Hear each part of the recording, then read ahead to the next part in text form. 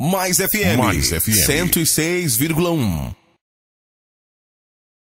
James se encontra aqui na rua Silvino Filgueiras, aqui no bairro Veneza, mais precisamente próximo ao estádio Morenão, aonde algumas residências foram é, visitadas pelos vândalos na madrugada. Números de residências é uma nova modalidade dos vândalos roubados. Essa casa que era número. É, hoje está 67, ela é o número? 367, hoje está 67. Esta outra, residência, esta outra residência também foram né, 255, hoje está 55. Né?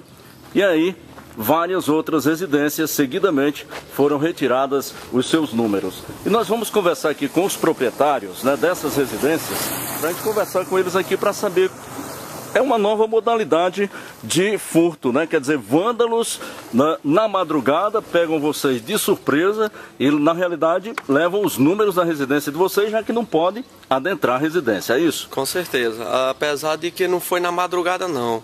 Eu acredito que foi mais ou menos por volta de 10 para 11 horas, mais ou menos da noite. Porque aquela senhora da Casa Verde ali, ela saiu umas 9, 10 horas para fora e os números não não tava mais, entendeu? Aí as demais ela entrou e ficou é, em seguida ela entrou e achou que alguém tinha caído e procurou. Quando ela olhou para essas casas aqui, aí ela chamou a gente para ver que tinham roubado os números. Até porque aqui a carência é muito grande do Honda do Quarteirão. Você vê, é uma, é uma, é uma rua nova assim praticamente.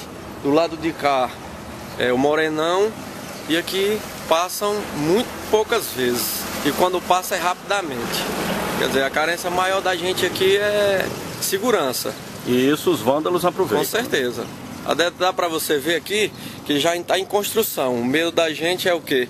É a mata, tem construção perto e a segurança da gente aqui é muito pouca. Como é o nome do senhor, por favor? Sérgio. Ó, o seu Sérgio, que é residente aqui, inclusive ele, ele faz um apelo aqui para o Ronda do Quarteirão, porque na realidade existe aqui um terreno baldio, próximo a essas construções, são construções residências novas que estão sendo visitadas pelos vândalos. Eles não sabem a que hora, mas acreditam que foi cedo da noite. Nós vamos conversar com outro proprietário, outro residente aqui. Como é seu nome, por favor? É o Vando. É o Vando. Ele. Vando, me diga uma coisa. Você foi surpresa para você, que inclusive quando a gente chegou na sua residência para mostrar que o número da sua residência tinha diminuído, quer dizer, você se surpreendeu. É verdade, né? Assim como tem a surpresa dos números, né? Eles podem também fazer outra surpresa, né, pra gente.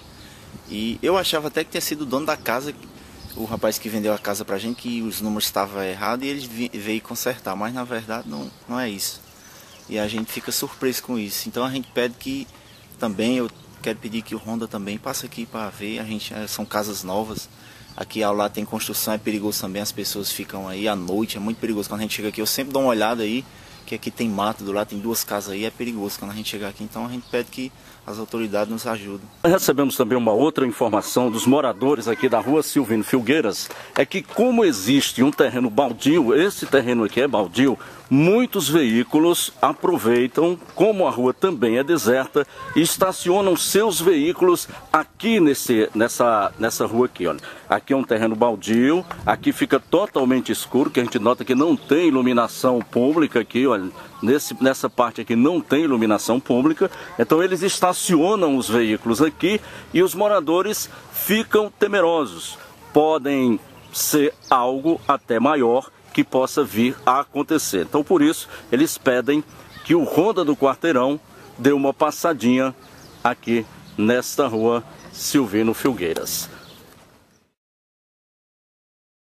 106,1 é mais. Mais.